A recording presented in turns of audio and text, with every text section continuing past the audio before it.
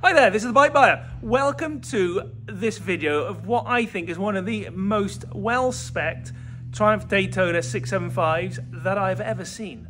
Uh, she's a 2013 bike and she's done 11,500 miles.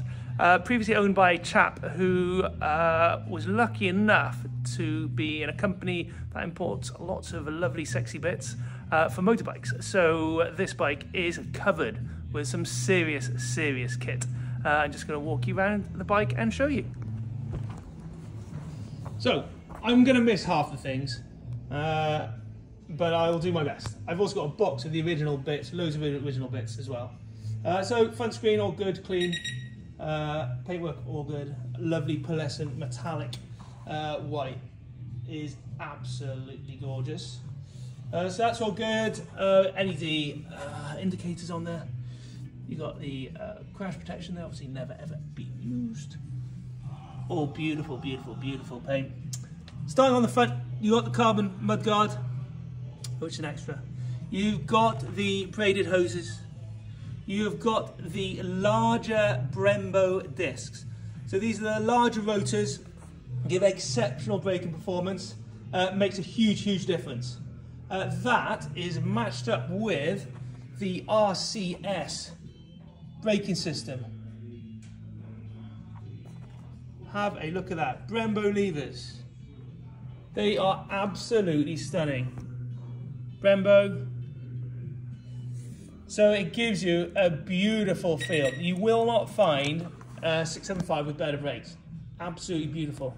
You've also got the Domino uh, quick action throttle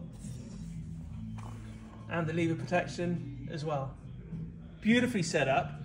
That kit is worth an absolute fortune.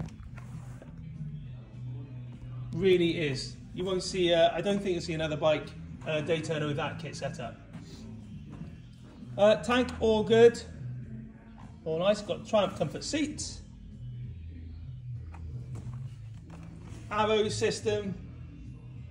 Sounds absolutely lovely. Also, you've got braided hoses running to the back as well. Rear wheel all good. We have got the R&G rear tail tidy and LED indicators. Again, cleans up the back beautifully. You got the uh, carbon uh, rear hugger. You got the quick shifter as well. Beautiful chain sprocket. You've got the engine protection there on this side as well. Fully adjustable levers. There's also a lead in there for charging your phone so you can set up your phone on the mount, have your sat nav. Crash bobbins there as well. Those discs are just awesome. Actually, I've got the original discs as well. Uh, so the only mark I can find on the bike is under here, where you see the alloy sticker. A stone chip has cracked the fairing just in that point there. Just there. Okay? That's the only mark I can find. Uh, I'll be looking at other fairings. Uh, if one comes up uh, second hand, probably costs about 100 quid. Um, but yeah, that is the only mark I can see on the bike. Apart from that, it is absolutely stupendous.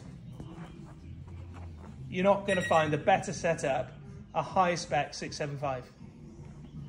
Uh, we could do uh, finance, delivery, have a look at part exchanges.